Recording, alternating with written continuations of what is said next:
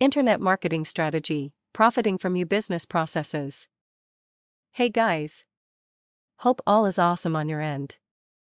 As the year ends, I just realized how things have been going so well on my end. I hardly realize how fast time flies. I'd like to share something I've learned over the years that I hope will benefit you the way it has me.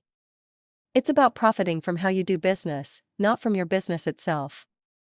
See, marketers can sometimes be very closed minded about certain things that they hurt their chances of creating more wealth for themselves. For example, there's this mistaken notion that you can only gain profit from the product you're selling.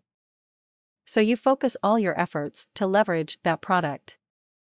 When you're still getting your offer known, it's right that you should, but if you've been in the biz long enough, perhaps it's about time that you look at how you're doing business and start creating more wealth from it. What am I saying? See, your biz follows some form of process for it to run smoothly and successfully. There are systems you follow to successfully advertise your product, to make a sale, to encourage people to keep purchasing from you.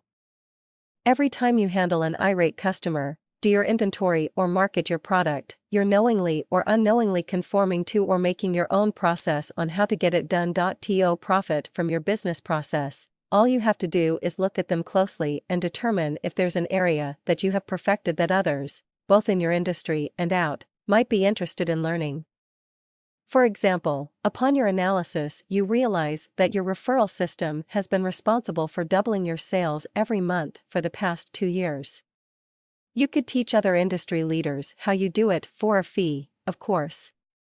Or create a book or a whole course about it complete with videos and workshops, which you can sell online. Heck, you can even be hired as a consultant for these matters and make a tidy sum of money on talent fee alone. SO review your process. Study where your system is most successful and capitalize on that.